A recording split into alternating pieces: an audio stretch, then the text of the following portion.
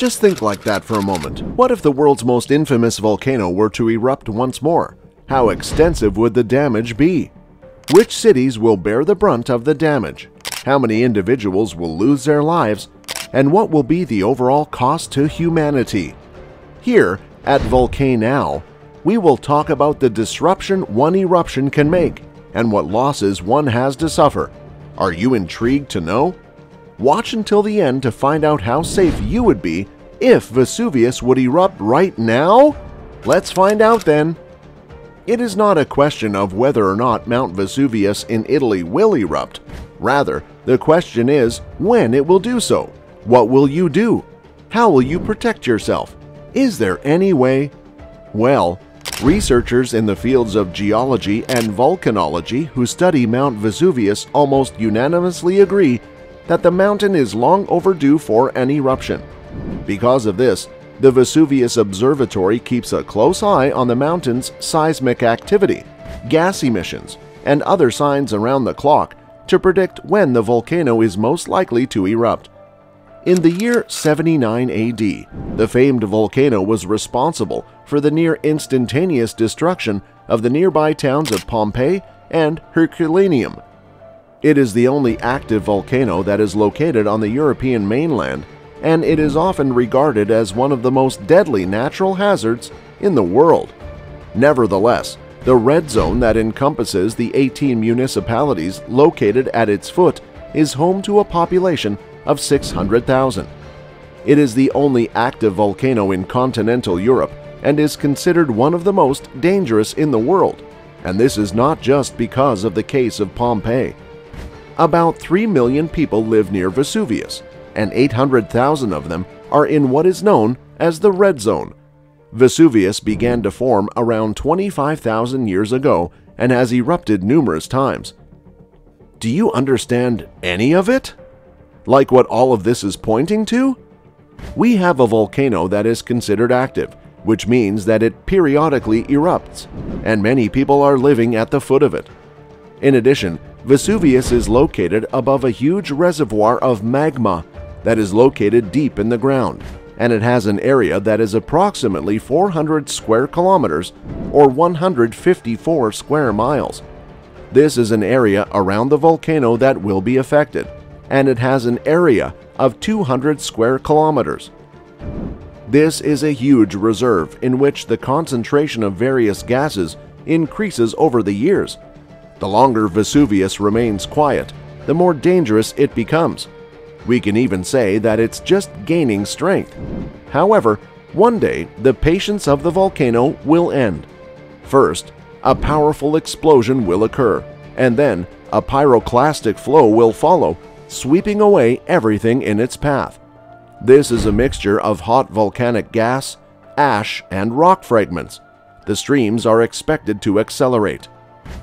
Scientists believe that during the destruction of Pompeii, the volcano produced six separate pyroclastic emissions, so the area that would be immediately affected could be huge. At the same time, a huge pillar of smoke and ashes would rise, the height of which can reach 32 kilometers or 20 miles.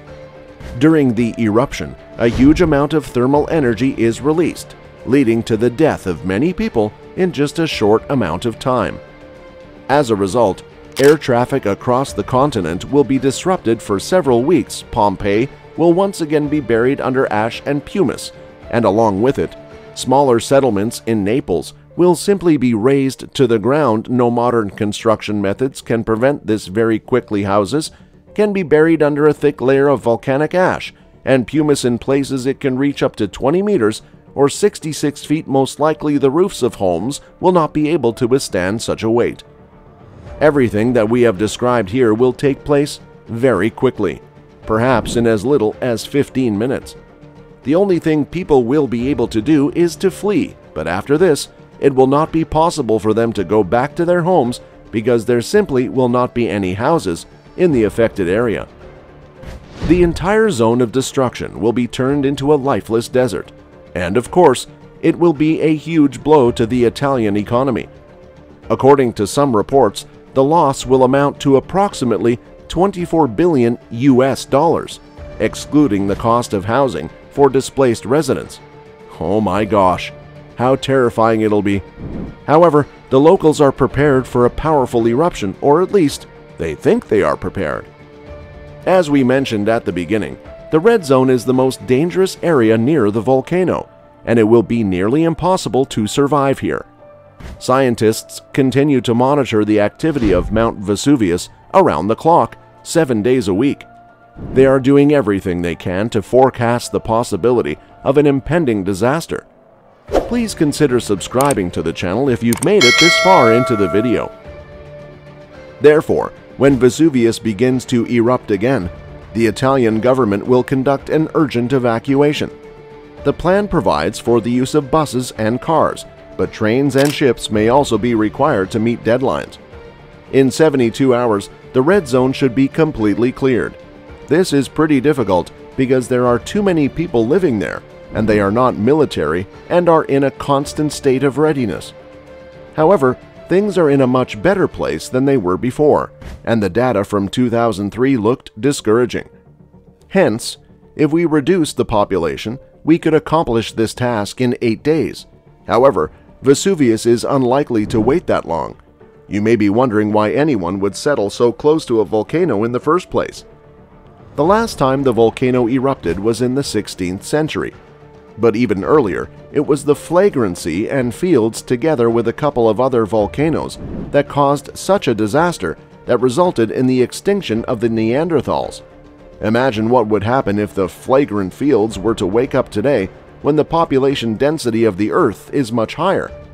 If something like this happens, the eruption of Vesuvius will seem like just a small nuisance in comparison, although then, an eruption that would have the same effect on air traffic and shipping throughout the entire continent is Eyjafjallajökull's explosion in 2010. This time it would last for weeks rather than days.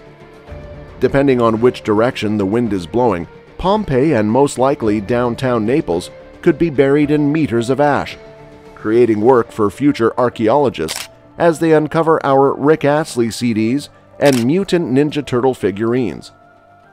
Pompeii was built on top of a volcano that erupted in 79 AD and was destroyed by an earthquake and a volcanic eruption. The Italian government has devised an emergency evacuation plan to relocate 600,000 people living in the area to the safer ground within the next three days. However, after shorter periods of quiescence, eruptions that are less large but are nonetheless highly dangerous might take places such as the one that took place in 1944 or even the one that took place in 1631. For instance, the National Institute of Geophysics and Volcanology in Italy monitors ground deformation, studies gases emitted by fumaroles, and measures every earthquake that occurs in the vicinity of the volcanoes. All of these things are markers of activity occurring deep underground. In addition, there is a contingency plan that outlines how to evacuate the greater Naples area if surveillance leads to the conclusion that an eruption is imminent. To answer the question of what would happen if a volcano erupted tomorrow, we believe that first and foremost, we would need to relocate to a more secure location. We learnt this in this moment, as no amount of precautions would be enough to protect us from the devastating effects of such a devastating incident. And we here think we should thank our researchers that to forecast when the volcano is most likely to erupt, an observatory closely monitors the mountain's seismic activity, gas emissions, and other signs around the clock. Don't forget to tell us in the comments what you think personally how could we tackle a volcanic eruption. And yes, don't be fooled if the news headlines would say Vesuvius is erupting at any moment. And you know what climate change may be influenced by volcanic activity. Major explosive eruptions inject vast quantities of volcanic gas, aerosol droplets, and ash into the stratosphere.